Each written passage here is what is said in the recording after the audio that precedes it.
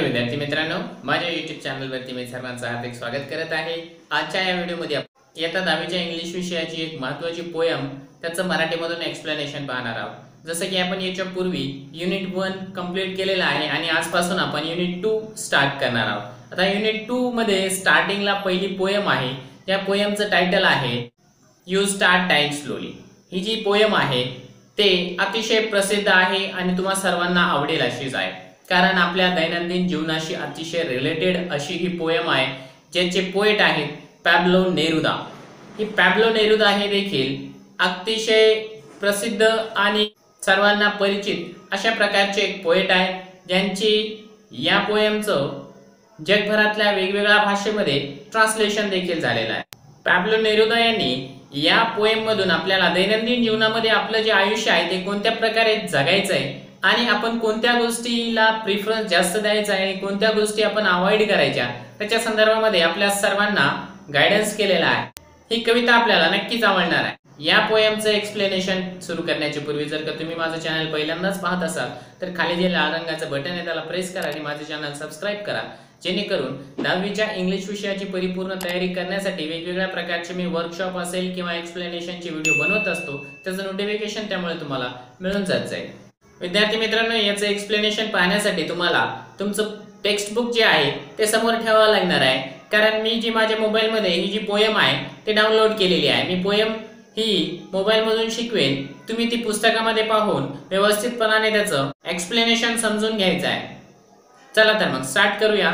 Explanation of the poem you start dying slowly first stanza is if you do not travel if you do not read, if you do not listen to the sound of life, if you do not appreciate yourself, you start dying slowly. पहिल्या स्टँजामध्ये हे जे poet आहे पॅब्लो Neruda ते खूप मोठा अर्थ या ठिकाणी व्यक्त करत आहे त्याचा अर्थ असा आहे पहिल्या स्टॅन्झाचा की if you do not travel जर का तुम्ही मनसोक्त प्रमाणे ट्रॅव्हल्स करत नसाल म्हणजे प्रवास करत नसाल त्याच्यासोबतच if you do not read तुम्ही कोणत्याही वेगवेगळ्या प्रकारचं वाचन करत नसाल रीडिंग करत नसाल त्याच्यासोबतच if you do not listen to the sound of life किंवा या आयुष्याचं जे काही गाणं आहे किंवा आयुष्यामध्ये जे वेगवेगळ्या प्रकारचे सूर आहेत ते जर का तुम्ही ऐकत नसाल आणि त्याच्यासोबतच if you do not appreciate your self जर तुम्ही स्वतःहून स्वतःची स्तुती करत नसाल किमान जर काही इतर लोक तुमची स्तुती करत नसाल तर तुम्ही स्वतःला का होईना परंतु प्रेरणा देत नसाल तर यू स्टार्ट डाईंग स्लोली तुम्ही काय करत आहात? हळूहळू डाईंग स्लोली डाईंग स्लोलीचा अर्थ होतो की मरणाकडे वाटचाल करत आहात. याचा अर्थ या ठिकाणी असं सांगायचं आहे या कवीला की तुम्ही काय करत आहात? हळूहळू मरणाकडे वाटचाल करत आहात. मरणाकडे तर प्रत्येकच व्यक्ती वाटचाल करतच आहे. परंतु आपण ज्या वेळेस या ठिकाणी जन्म घेतलेला आहे या पृथ्वीवर.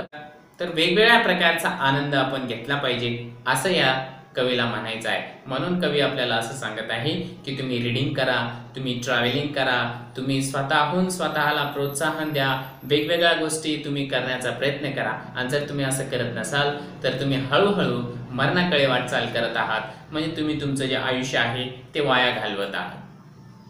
नेक्स्ट स्टॅन्समध्ये तो असं सांगतो when you kill your self esteem when you kill your self esteem self एस्टीमचा अर्थ या ठिकाणी सांगितलेला आहे की सेल्फ रिस्पेक्ट स्वतःचा जो काही आत्मसन्मान आहे तो जर का तुम्ही स्वतःचा आत्मसन्मान कोणत्याही पद्धतीने त्याग करत असाल त्याच्यासोबतच when you do not let others help you आणि म्हणजे तुम्ही स्वतःहूनही ज्या परिस्थितीमध्ये आहात त्या परिस्थितीमधून बाहेर निघत नाहीयेत. आणि तुम्हाला जर का त्या परिस्थितीमधून कुणी इतर व्यक्ती बाहेर काढण्याचा प्रयत्न करत असाल तर तुम्ही त्यांनाही तुम्हाला या परिस्थितीतून बाहेर काढू देत नसाल तर यू स्टार्ट डाईंग स्लोली म्हणजे तुम्ही ज्या परिस्थितीमध्ये आहात त्या परिस्थितीमध्ये समाधानी राहू नका.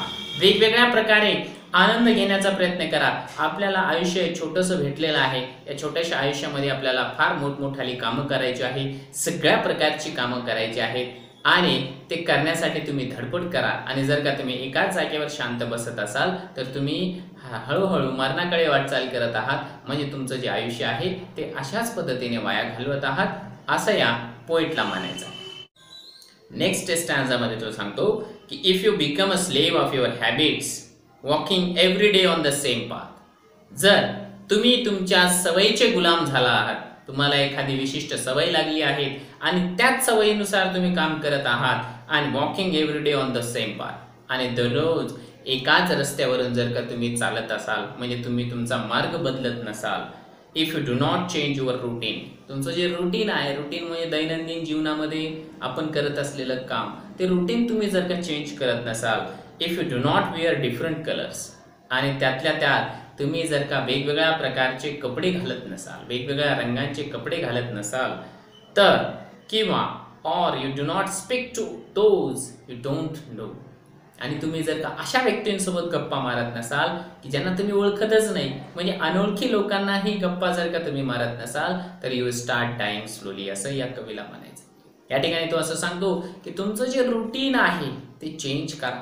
एक मशीन प्रमाणे जर का तुम्ही काम करत असाल की सकाळी उठल्यापासून ते संध्याकाळी झोपेपर्यंत आपल्याला या या वेळेमध्ये या या पद्धतीचं काम करायचं आहे. म्हणजे एक एक प्रकारे मशीनी काम जर का तुम्ही करत असाल तर ते तुम्ही चेंज करावं. वेगवेगळ्या प्रकारे तुम्ही आपलं जीवन जगावं असं या कवीला या स्टॅन्सामधून सांगायचं आहे. If you avoid to feel passion and their turbulent emotions जर मला एखादी सुप्त इच्छा होत आहे की एखादी गोष्ट करण्याची परंतु तुम्ही ती सुप्त इच्छा दाबून टाकण्याचा किंवा त्याला अवॉइड करण्याचा अवॉइड म्हणजे टाळण्याचा जर का प्रयत्न करत असाल आणि त्यामुळे तुमचं जे काही आयुष्य आहे ते स्पार्कल होत नसेल म्हणजे चमकत नसेल तर तुम्ही हळूहळू मरणाकडे वाटचाल करत आहात असं कवी सांगत आहे.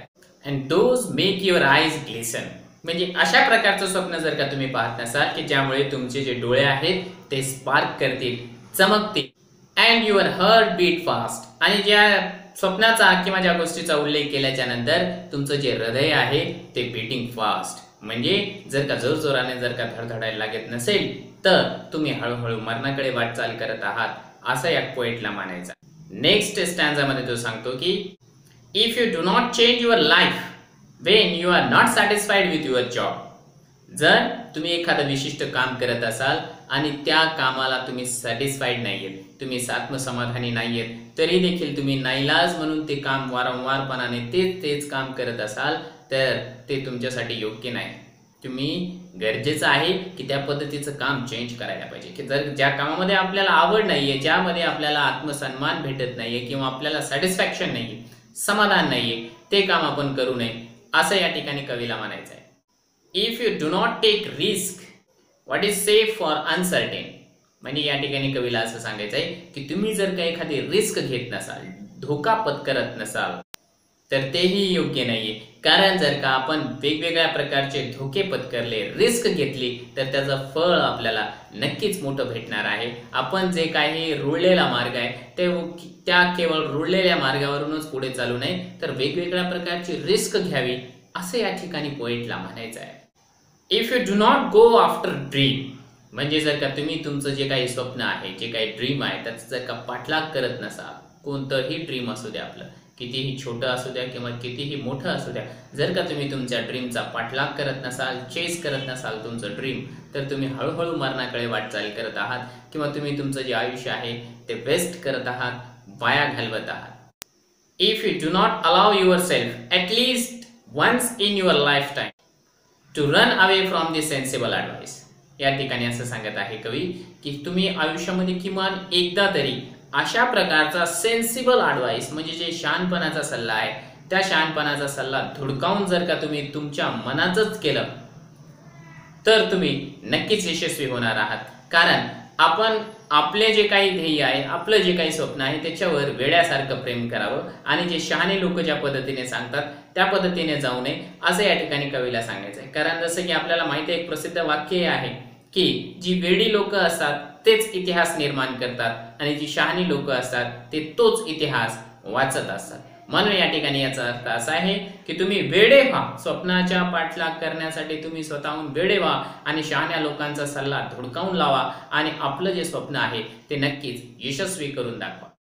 तर तुम्ही तुमचं आयुष्य जे आहे ते सार्थकी लावाल असं या ठिकाणी कवीला म्हणायचं आहे. अशा प्रकारे ही अतिशय प्रसिद्ध अशी कविता मी मराठीमधून एक्सप्लेनेशन केलेली आहे. आणि मला आशा आहे की तुम्हाला ही कविता नक्कीच आवडलेली असेल. आणि खरोखर जर तुम्हाला ही कविता आवडली तर या व्हिडिओला लाईक करा आणि माझं चॅनलही सबस्क्राईब करायला विसरू नका.